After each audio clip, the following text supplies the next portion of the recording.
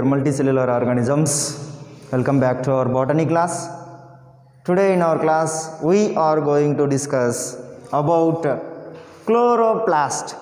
We knew chloroplast is also known as the kitchen of this cell.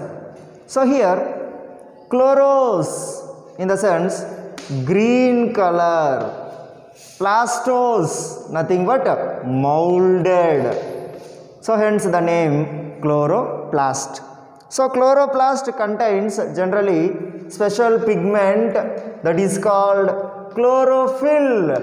So due to this chlorophyll chloroplast is in green color. And in this chlorophyll metal is present and element is present that is uh, mg2 plus. So here chloroplast is basically a cell organelle. And the two a type of plastid. Generally plastids are three types. These are found in only plant cells.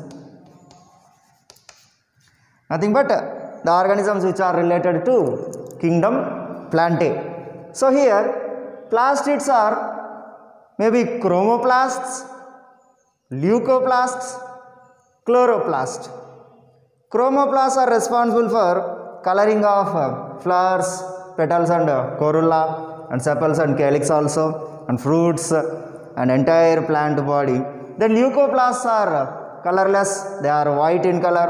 They are found in mostly in the form of edible parts like vegetables fruits very rare stem and root etc. Then this is uh, chloroplast which participate in the trapping the sunlight to perform photosynthesis.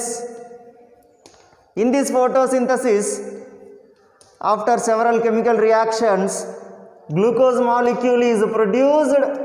This excess of glucose is stored in the form of starch a type of carbohydrate so starch is a reserved food in the plant body. Coming to the animals body especially humans we are unable to perform photosynthesis and unable to prepare the own food in our own body. Even we have animal starch in our human body that is called glycogen. This glycogen is the reserved food material which is known as animal starch. Okay so here we are going to discuss about the structure of the chloroplast. So here generally chloroplast is present especially in the plants inside the leaves in the mesophyll tissue. So what is mesophyll tissue in the sense? The combination of palisade and spongy parenchyma together called mesophyll tissue. So this mesophyll tissue uh, structure and location and etc we will be discussed in one more video. Uh, whenever we will be discussed. Ts of leaf. Okay so in the mesophyll especially in a palisade tissue chloroplast number is more than the spongy tissue. Chloroplast is discoid shape or round shape or oval shape or uh, star shape also ribbon shape different types of shape it possess. So chloroplast is made by specially first membrane is outer membrane then second membrane that is known as inner membrane. So two membranes. Then coming to third membrane this third membrane is modified into special discs. So each and every disc is known as thylakoid membrane. So here these discs are thylakoid membranes. They are arranged in a row. So each and every row of these discs is known as granum. So such type of granum or rows are located inside the chloroplast around 200 so these 200 around groups of granum called grana grana is plural granum is singular in each granum around 9 to 12 discs are located. So here these uh, all grana they are interconnected with the help of special channels or the tubes these are known as thylakoid channels or fret channels. So generally these all are floating inside the chloroplast or suspended in, inside the chloroplast in a uh, jelly like uh, substance or that matrix is known as stroma.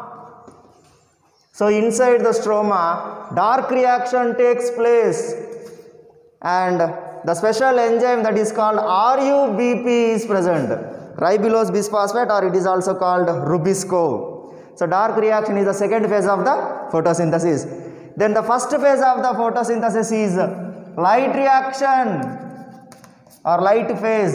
The light reaction takes place on the grana or granum because on the grana or granum PSU are located nothing but photosynthetic units or light harvesting complex. So around 250 to 400 chlorophyll molecules together form an unit. That unit is responsible for trapping the photons from the sunlight or harvesting the photons. Then they will be started the light reaction because granum are responsible for starting the photosynthesis. So phase 1 is light reaction, phase 2 is dark reaction. So after these two phases, finally glucose is synthesized.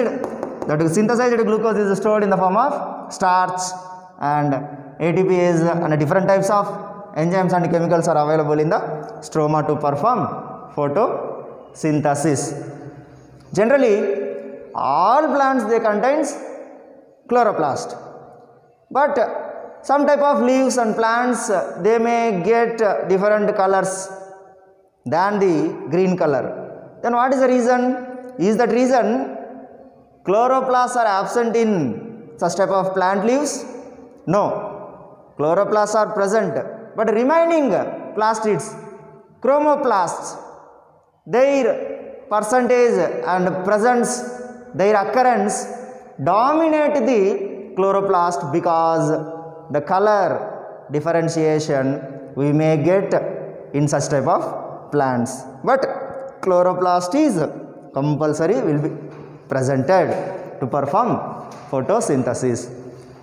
So dear multicellular organisms this is the information regarding chloroplast or kitchen of the cell. In one more video we will meet with one more beautiful topic. Thank you. Good luck